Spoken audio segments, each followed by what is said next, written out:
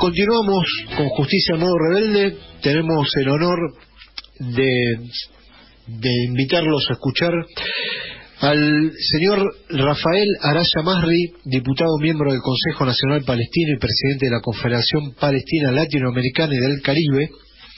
Este, ¿Qué tal, Rafael? Gonzalo Pérez Morales. Es un gusto, Gonzalo, qué gusto saludarte, ¿cómo estás? Bien, acá estamos con Federico Bontuis. Salam aleikum. Federico, un abrazo. Salam aleikum. Un gusto. Aleikum salam. Aleikum salam, Javibi. Rafael. ¿Cómo están? Bien, bien, muy bien. La idea de, de, nosotros era hacerte una entrevista, ¿sí?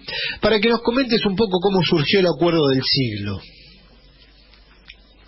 Pero, eh, estoy... ¿Nos escuchas bien? Hola, hola.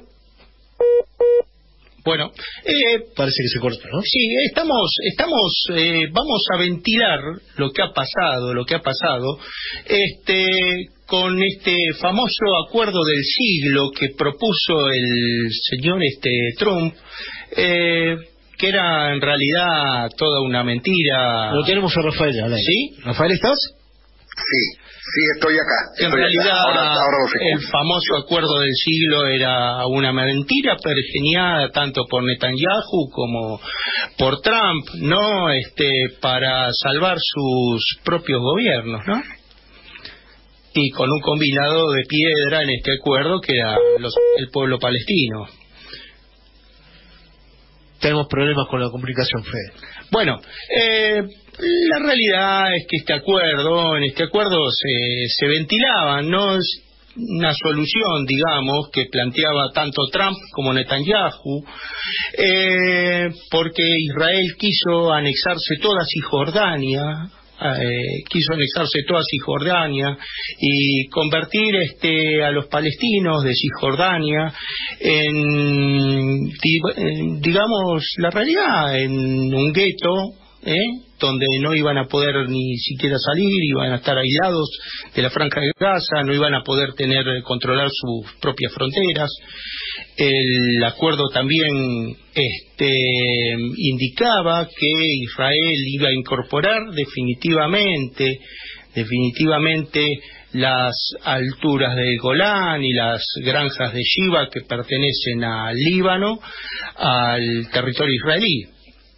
Hola, Rafael. Rafael, ¿estás? Sí, ahora, ahora los escucho perfectamente. Disculpen.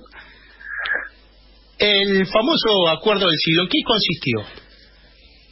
Bueno, es un acuerdo bilateral estadounidense-israelí, por lo cual, eh, por el, gobierno de Estados Unidos convalida un proceso de anexión de hasta el 30% del territorio de Cisjordania, de la región occidental, que el, el, el, Valle del Jordán, que son las tierras más fértiles de todo el territorio, y, y es una forma de incorporar sus colonias todas ilegales según el derecho internacional al, al territorio israelí.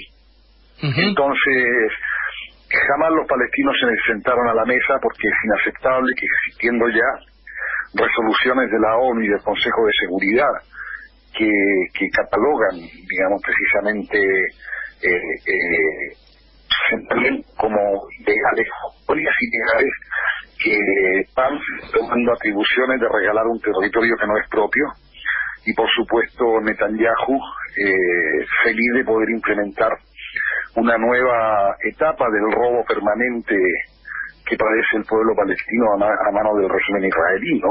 Sí, sí. Entonces, perdón, eh, y esto envuelve una suerte de regalo de un Estado palestino eh, sobre alrededor del del 15% de la Palestina histórica o del, del 11% de la Palestina histórica, pero si Palestina a lo largo de cuatro años cumple con determinadas condiciones, de ni siquiera es un, un puede estructurar una tesis de dos estados, es, es una cosa absurda, absurda y ridícula. Entonces, pero esto, digamos, también ha, ha mostrado una reacción internacional muy dura eh, frente a Israel por primera vez, tal vez. Sí, sí. Eh, y, y, hay digamos, eh, gobiernos centrales, digamos, como, como por ejemplo la Unión Europea, asumir medidas coercitivas para impedir e invalidar este intento de, apropiación de más territorio palestino. Es decir, por eso eh, Netanyahu ha reculado con, con, promesa hecha el 18 de mayo de que, de que el primero de julio comenzaba el proceso de anexión, porque tiene también una tremenda interna ahí donde su principal cogobernante, eh, Benny Gantz, de, la lista azul, eh, se ha negado terminantemente a convalidar los mapas que elaboró Netanyahu con ayuda del, del super sionista embajador norteamericano en, en Israel eh, eh, y no, no aceptó ni nada que no sea eh, enmarcado dentro de los acuerdos internacionales de la materia. Entonces también tiene una interna muy fuerte. ¿Por qué? Porque esto se trata de levantar el tema, porque Netanyahu quiere mantener el tema en la agenda. Porque en esto se juega su propia libertad. No nos olvidemos que está, tiene tres juicios abiertos y lo más probable es que termine condenado por, por, por, por, esto, por actos de corrupción, de prebenda, de recibir regalos impropios, de dar regalos impropios. Es decir, eh, en, ese sentido, la justicia israelí con sus dirigentes ha sido extremadamente dura. Recordemos que el propio ex, primer ministro de Hud Olmert estuvo preso, el ex presidente Katzab estuvo preso, es decir, Netanyahu no va a ser la, la excepción. Entonces, ¿cuál es su argumento? Que la Knesset, digamos, como como respuesta y como como incentivo eh, eh, a la apropiación de territorios le perdone estas fallitas que ha hecho eh, como, como gobernante objeto de proceso legal, ¿no? y ha querido superponer el tema para tapar su propio problema con la ley israelí. Sí, lleva más de 13 años en el poder, está acusado de soborno, fraude y abuso de confianza. Absolutamente, totalmente. es tremendo, bueno, y quién paga los platos rotos de toda esta movida, por supuesto, sigue siendo el pueblo palestino, ¿no? ¿Cómo se entera la comunidad palestina de este de este tema, de este acuerdo llamado del siglo? Mira, porque en un momento se intentó que la que la Autoridad Nacional Palestina eh,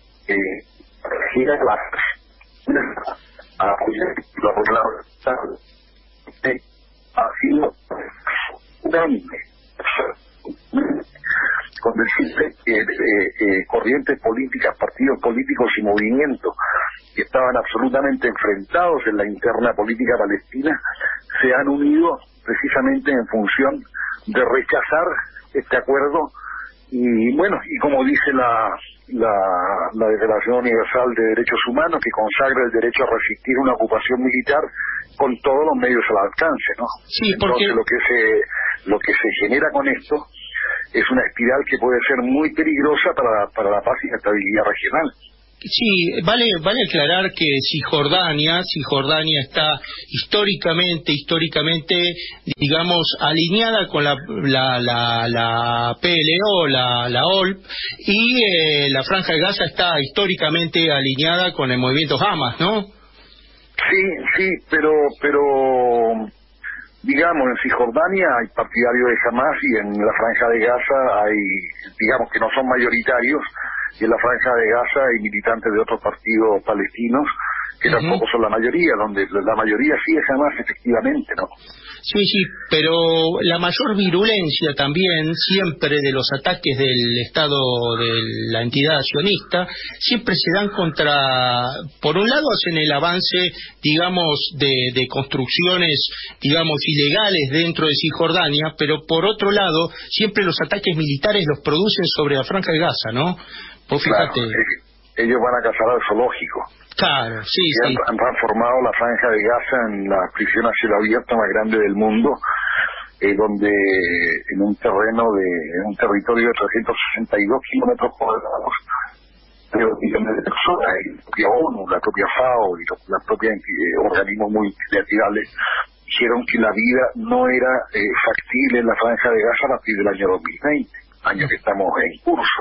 Sí, ¿Y por qué esto? Porque cuando fue la operación militar israelí eh, eh, en diciembre del 2008, enero del 2009, no sé si ustedes lo recuerdan, que hubo 2.000 víctimas, 1.400 de ellas civiles.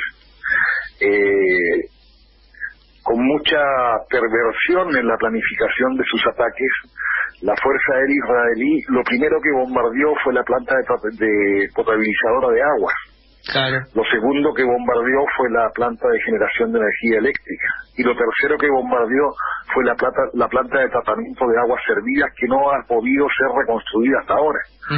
Entonces te encuentras ante un territorio absolutamente contaminado ya por aguas servidas que van a dar al mar normalmente, donde el Estado de Israel le autoriza a pescar dentro de seis millas marítimas como máximo, la rebaja a tres a veces, es decir, y pesca en aguas contaminadas, por aguas servidas. Sí, sí, sí, sí, sí. Entonces, todos los parámetros de la vida no tienen una equivalencia en otro lugar del mundo como, como, como, como los tienen eh, eh, eh, en la franja de Gaza, que es realmente una situación humanitaria atroz. Sí, yo, un día me puse a hacer una, digamos, una cuenta y comparé la franja de Gaza como Vicente López, San Isidro, San Fernando y Tigre y ahí metían todos eh, los millones de habitantes que, que, que, tiene la franja de Gaza, pero lo principal, lo principal que nunca que nunca se observa en ningún en ningún digamos en ninguna resolución es el derecho de retorno que tienen que tener todos los palestinos los cuales han sido expulsados a los territorios vecinos, tanto de eh, Jordania como del Líbano, eh, Siria, Irak. Eh, por eso, o sea, en ninguno, en ninguno de los planes que se hizo nunca se reconoció el derecho de los palestinos en la diáspora a volver a volver a Palestina, ¿no? O sea, ellos pueden, ellos pueden por, por la propia ley interna del Estado de Israel, de cualquier ciudadano del mundo declararse de religión judía y poder este, ingresar al territorio israelí y ocupar. Pero los palestinos no pueden volver a su tierra. Este... hay una, hubo hace unos días, no sé si la viste, una maravillosa proclama y, y una carta de más de 200 intelectuales judíos eh, renunciando a ejercer su derecho a retorno al Estado de Israel por la ley de retorno israelí sí, sí. y cediendo su lugar a los refugiados palestinos digamos que están diseminados por los campos de refugiados en los países vecinos, como tú recién eh, bien mencionabas. Sí, sí. El drama de los refugiados, es decir, incluso en los acuerdos de se planteaba una una solución, entre comillas, justa al problema de los refugiados, que tenía que ser parte del, del, acuerdo final que se estableciera antes de que asesinaran, por supuesto, a Isaac Rabin, ¿no? Sí, sí. Por, por, por, por, el, tremendo incentivo que generó al respecto Netanyahu, que fue gran promotor intelectual del odio contra el primer eh, ministro que había eh, traicionado al sionismo y al Estado de Israel eh, entregando los territorios de Judea y Samaria, como ellos los llaman, eh, al terrorismo. Entonces, eh, es una situación compleja porque aquí hay una cuestión que, que juega un factor fundamental. El derecho a retorno es un derecho individual. Sí, sí. Es decir, no puede ser no puede ser negociado por un estadio por un estado en un paquete. Exactamente, Es decir, a cada refugiado palestino tienen que preguntarle, ¿usted quiere volver a su tierra o ya que se instaló acá quiere una compensación económica, quiere irse a otro país, no sé? Eh, eh, eh, pero cada uno tendrá que decir, no, yo quiero volver a Palestina o no, yo me quedo acá y se mi vida acá, en fin, digamos, todas las variables que puede tener esto. Sí, sí. Pero no puede ser, por eso Israel lo saca del, de la agenda, siempre. Sí, Israel. Pero el problema de los refugiados, y, aquí, perdón, que me interrumpa, hay, eh, está la resolución 194 de la, de la Organización de las Naciones Unidas que consagra el derecho a retorno de todos los refugiados y a ser compensados económicamente por las pérdidas que sufrieron mientras eh, eh, las bandas terroristas judías eh, eh, realizaban el proceso de, eh, de limpieza étnica en Palestina cuando se creaba el Estado de Israel, ¿no? En el año 48. Sí, hay una película, hay una película justamente que he visto, que es una película muy dolorosa, muy dolorosa, de una abuela palestina que va y va a ver su árbol de olivos y estaba todo destruido alrededor, este, y va durante muchos años después de, que sucede este, la, la, eh, la catástrofe, ¿no? Porque eh, mm, este, vuelve y mira su árbol de olivo y claro. es, una imagen muy el olivo, dura. El, olivo está tan arraigado en la cultura palestina que es parte, un olivo es parte de una familia. Te lo digo en esos términos. Mira, yo eh, eh, en una visita que hice a Siria, no me acuerdo si fue el 2000, el 2008, me fui a, me llevaron a un campamento de refugiados palestinos que se llamaba Bania que quiere decir España, ¿no? Sí, sí. cada campamento tenía el nombre de un país europeo. Ajá. Y ahí entrevisté a una anciana que en ese momento debe haber tenido, no sé, 90, 91 años. Y ella se acordaba perfectamente cuando tuvieron que salir huyendo. Ella decía, ella me contaba que eran ella, su marido, eh, su madre, tres hijos y nueve trabajadores judíos Ajá. que le ayudaban a labrar la tierra y con los cuales almorzaban todos los días, merendaban todos los días, comían la fruta, eh, compartían diariamente. Entonces cuando llegan la, la, las bandas sionistas, eh, Hagana, Irbun, Stern, eh, eh, con este proceso de, de, de, matanza, de limpieza étnica, de expulsar a los habitantes originarios, me cuenta que eh, tres de esos judíos se fueron con ella a Siria. Entonces, ¿qué nos, qué nos, qué nos dibuja esto? Esto, eh, esto nos dibuja que el sionismo como una idea eh, nacionalista, donde a veces se confunde muy fácilmente la C con la Z, eh, generó este odio en, en un ambiente donde judíos, cristianos y musulmanes vivían en paz entonces, eh, emporcó el, el, hábitat eh, eh, y llevó el odio, llevó el resentimiento, y, porque decía, ¿cómo, cómo, ¿cómo nosotros vamos a querer que construyan un Estado? Le decían un país, le decían a esos trabajadores, eh, ¿cómo a costa de la sangre de ustedes? Nos vamos con ustedes, le dijeron Los, estos tres judíos ¿no? que, que, huyeron con ella a Siria. Entonces eso te habla y desmistifica eh, primero que nada, el concepto de una tierra sin pueblo para un pueblo sin tierra, porque ahí vivía mucha gente. Exactamente. Y, y, desmistifica, digamos, el carácter de, de, democrático o de plural eh, que, puede exhibir hoy el Estado de Israel, porque ya con su propia declaración de Estado-Nación del pueblo judío, lo que demuestra, digamos, que establece en el origen de la propia declaración una condición distinta para distintos tipos de ciudadanos. Vos sabés, eh, sí. vos sabés, este, Rafael, que nosotros eh, decimos que Giza era el, fue el primer, el primer palestino, ¿no? Este, eh, nosotros los musulmanes decimos que Jesús fue el primer palestino este, porque fue el que se enfrentó a los mercaderes del templo, hizo, hizo algunas cosas, este, eh, contra el orden establecido, contra el orden establecido, ¿no? Este, así es. Entonces, este, es realmente, realmente es luchar contra una potencia mundial, es el no castigo oportuno a lo que hicieron en Sabra y en Yatila, ¿no? Que algún día, algún día vamos hablar de esto, porque Sharon y las bandas criminales eh, cristianas de los hermanos aún entraron en los campamentos de refugiados de Sabre y de Yatila y produjeron más de 3.000 muertos y nunca fue castigado. Iluminados, iluminados por los focos del ejército israelí. Exactamente, exactamente. A cargo de Sharon en ese momento. A cargo de Sharon, Sharon era, un criminal, Sharon era un criminal de guerra y murió sin castigo. Este, entonces. Pero mira, esto me lleva a mí eh, eh, a plantear una cuestión que, que no es menor, que se trata precisamente de la de la degradación profunda que ha sufrido eh, la sociedad israelí como sociedad, como, les gusta decir ellos, democrática, o una o una sociedad plural. Porque yo me acuerdo que cuando fue eh, la invasión del Líbano en el año 1982, que después acaeció este, este crimen de Sabri y Jatila, en las calles de Tel Aviv marcharon 400.000 personas exigiendo el inmediato retiro de las fuerzas israelíes del Líbano. Estaban en contra de la invasión y en contra de la, de la guerra, ¿no? Sí, sí. Y cuando fue margen protector o plomo fundido en Gaza, en, en Tel Aviv marcharon 10.000 israelíes exigiendo el inmediato cese de los bombardeos eh, contra la franja de Gaza, por, por, digamos, por el saldo dramático de, de, víctimas civiles precisamente.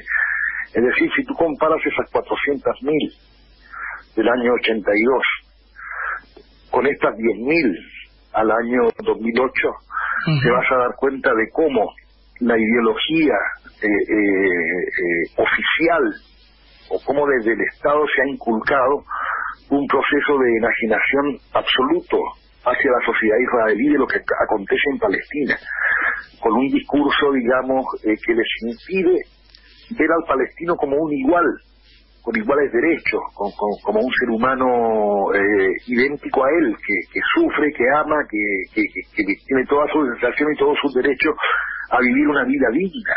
Entonces, cuando la otra edad no aparece en el horizonte, es muy difícil hablar de un proceso de paz constructivo, más allá de que hoy, y esto también es justo reconocerlo, en Israel son cada vez más las más numerosas las voces que están a favor de un acuerdo de paz justo eh, eh, y, que, y que luchan al lado de los palestinos y que concurren a, las manifestaciones palestinas, hay mucho objetor de conciencia que está saliendo a la luz que se niega a servir en el ejército porque van a ser enviados a Cisjordania y Gaza. Entonces yo creo que, que, que en nuestro propio discurso tenemos que incorporar el reconocimiento profundo a aquellos que abjurando de todo lo que les, les, enseñaron en su vida que era correcto, no lo era. Exactamente. No, es decir, deconstruir una ideología de, de, supremacismo para poder eh, considerar al otro como un igual. Porque al final de cuentas somos todos seres humanos y acá eh, eh, el problema es exactamente de cómo una, una, una, comillas, clase de ser humano le resta esa entidad al otro que tiene los mismos derechos. Exactamente. No, entonces yo creo que, que, hay señales que son positivas. Eh, Netanyahu ha hecho marcha atrás en su proceso de anexión, más por la interna israelí que por la amenaza internacional. Entonces es un signo de esperanzador, digamos, de que algo cambie en el seno de la sociedad israelí, que ha sido absolutamente enajenada y manipulada por su gobernante. Yo invito a leer a quien pueda el libro de Nurit Pellet. Eh, Nurit Pellet es una, una docente universitaria israelí que, describe el modelo de educación a los niños israelíes y cómo el palestino, las pocas veces que figura en los textos oficiales, eh, aparece mencionado como el terrorista, como el peligroso, como el con el que hay que tener siempre cuidado, ¿no? Y, fomentar esa fobia eh, en, contra, en contra del palestino. Y, yo le doy un valor especial a esto, porque la hija de Nuri Pérez, que tenía 13 años, murió en un atentado en Tel Aviv. Entonces, eh, el lugar eh, es admirable porque en lugar ella de, de, de reconcentrar su odio, fue capaz de ver más allá y buscar las razones profundas del por qué se producía del por qué murió su hija. ¿no? Entonces, eh, a partir de ahí pudo reconstruir, eh, eh, empezando su corazón y su cabeza, pensando en que había un drama más allá que ella no estaba mirando. es realmente admirable porque yo no sé cómo reaccionaría yo si me matan a mi hijo, si mi hijo muere. Entonces, ella junto con su hermano Mico Pellet se han transformado en tremendos activistas pro-palestinos, ¿no? censurados, castigados en Israel, eh, eh, vilipendiados como Gideon Levy, que es permanentemente amenazado de muerte, un gran periodista eh, israelí. Y eh, entonces yo creo que hay señales esperanzadoras de que algo pueda cambiar, no es rápido, por supuesto, dentro del seno de esa sociedad. Porque yo creo que eh, mientras haya eh, israelíes, eh, judíos conscientes de que esto tiene que eh, eh, manejarse entre iguales como primera cosa y que el valor humano es igual en cualquier lugar del mundo que te encuentres, eh, yo creo que, que, tenemos una, una beta de esperanza de que esto pueda cambiar. Por ahora, el pueblo palestino ha resistido durante 72 años y puede resistir otros 100 años. Entonces nuestra lucha va a persistir, va a ser inclaudicable porque no se puede explicar que desde el año 47 y antes, desde los años 30, cuando empezó el proceso de, inmigración eh, hacia Palestina, cuando fue la gran huelga del año 36, eh, eh, la resistencia palestina yo creo que es un baluarte y, una, y una señal para los pueblos del mundo que luchan por su liberación.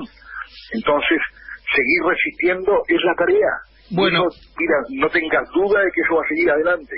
Bueno, Rafael, este, son medios medios cortos los tiempos, la verdad. Pero no Tema, un tema que me apasiona y lo vamos a seguir discutiendo, como el tema el tema de las alturas de Golán y otros temas. Desde ya, desde ya. Pero te, doy la, este, te doy la buena noticia, te doy la buena noticia de los altos del Golán de que hay 58 municipios en España que retiraron todos los dispensers de agua de Eden Springs, una empresa israelí que la exporta a Europa y que la roba de las alturas del Golán.